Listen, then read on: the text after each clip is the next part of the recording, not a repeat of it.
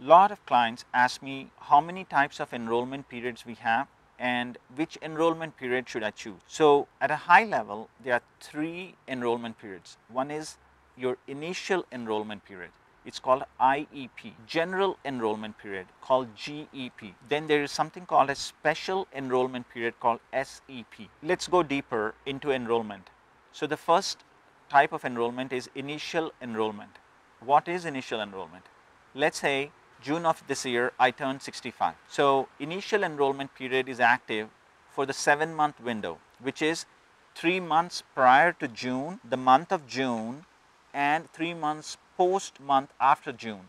So those are the seven months that your initial enrollment is active. So you have seven month window, which is your IEP, its initial enrollment period, and this is active when you turn 65, and you can actually enroll into Part B when you have a seven month window, which is the initial enrollment window. What is special enrollment period?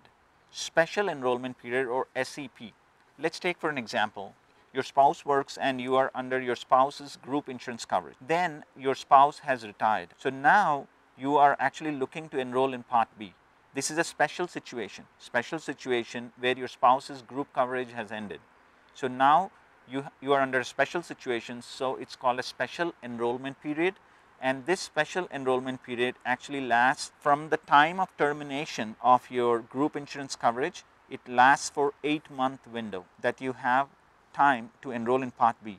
If you don't enroll in part B within that special enrollment window or SEP you might be getting penalties and lifetime penalties those are not good. So, you have to engage you have to call us or connect with us either through a webinar or a phone call or an email and we are going to explain you that how to not to be on the penalty list. And this is simple phone call simple phone call. Don't procrastinate don't wait because you have an 8 month window during the special enrollment window.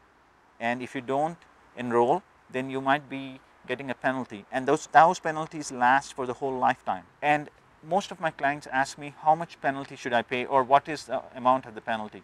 It's actually if you think you're paying $170 premium per month 10 percent 10% of the premium, approximate, these numbers are approximate, there is a complex math behind it, but it's 10%. So you are paying almost every month and you should not pay. That's the, that's the most important thing. It's not about $17 that you're paying extra, you should not have paid that $17. And you could have used that $17 to take an extra prescription drug plan, which is like $10 per month. So don't delay. If you're on a SEP, special enrollment period, your window ends in within eight months.